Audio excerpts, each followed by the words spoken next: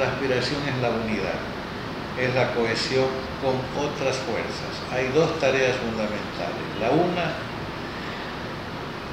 relanzar Alianza País, ajustar programas, principios, siempre en correspondencia con el interés del pueblo y de la nación ecuatoriana.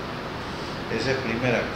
Segundo, democratizar la acción política y lograr la participación organizada de, los distintos sectores que se han incorporado al movimiento y seguramente otros que accederán a él.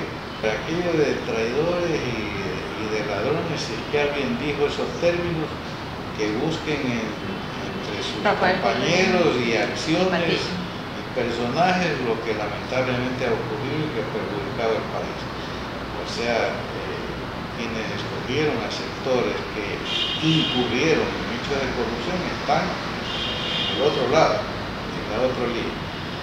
Y nosotros somos absolutamente leales al Ecuador, a la Revolución Ciudadana, a Alianza País y al gobierno que la mayoría del pueblo eligió.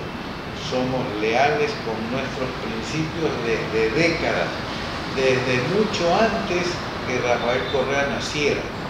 Lo que no es leal es dejar un proyecto político, convertirse en jefe de la oposición más rabiosa y mucho menos en dejar el poder e irse de vacaciones a otro continente.